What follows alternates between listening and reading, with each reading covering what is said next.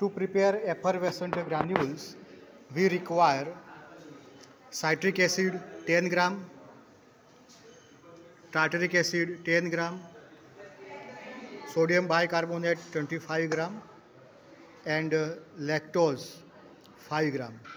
Okay. So the first step is to grind all the ingredients so that we have uniform particle size of the all the materials.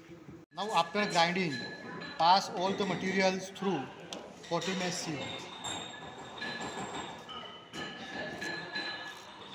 so that we can get uniform particle size of the starting materials.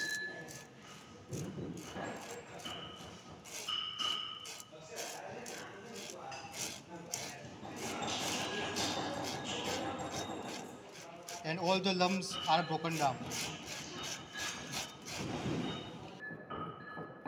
After grinding and passing through the 40 mesh sieve, mix all the powder mixture completely. So mix them for at least 10 minutes.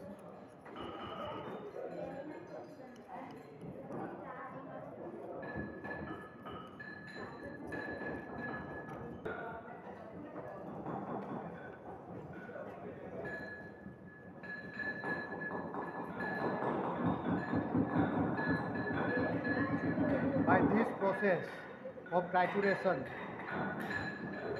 all the powder will be mixed completely.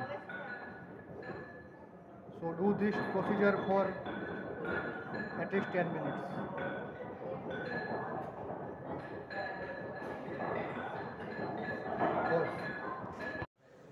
After mixing, we have to granulate the powder mixture by using 60 percentage alcohol. So slowly add alcohol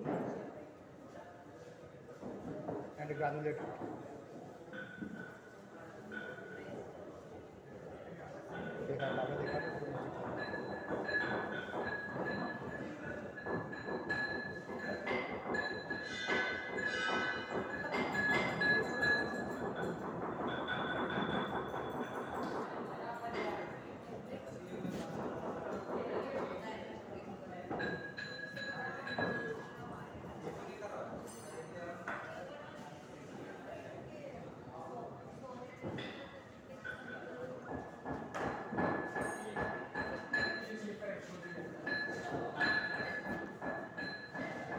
You can see the particles has agglomerated and the granules are being formed.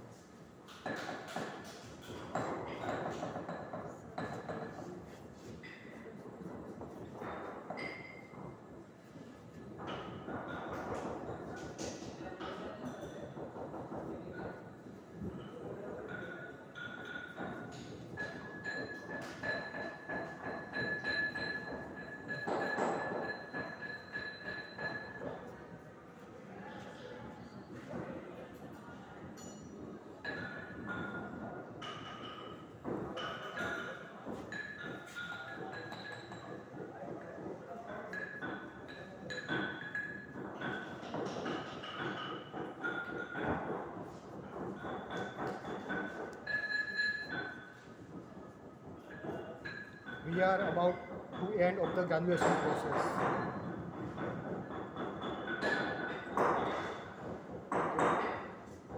So this is the end of the granulation. So what is the end point of the granulation? So how to test the end point of the granulation? So you collect the damp mass, put in a fist. After that, you apply the pressure in the middle, and if this breaks, this means that the granulation process has completed. After that, we have to pass these granules through the three mesh sieve. Post. Stop. Now pass the granules through the 20 mesh sieve.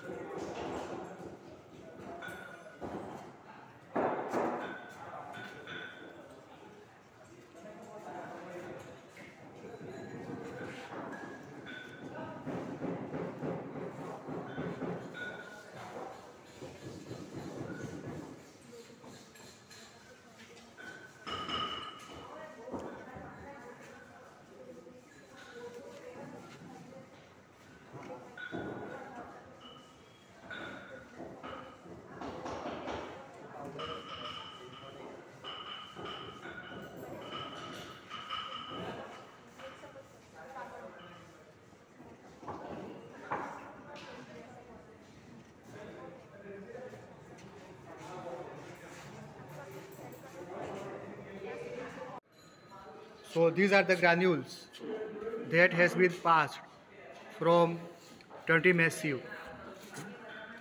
After that, we will put these granules in a tray dryer to dry at 60 degree centigrade for half an hour. Now put the granules at a 60 degree centigrade for half an hour. These are the dry granules.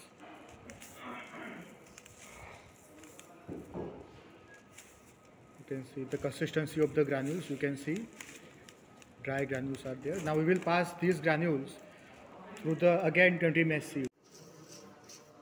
Now pass the dry granules again through the 20 mesh sieve so that we can get the uniform size of the granules. You can see this.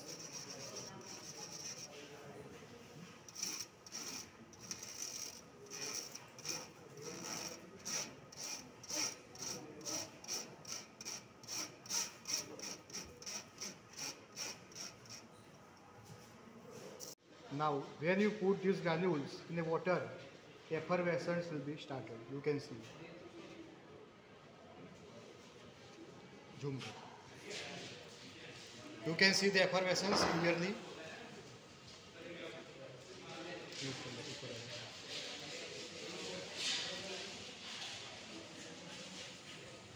Okay.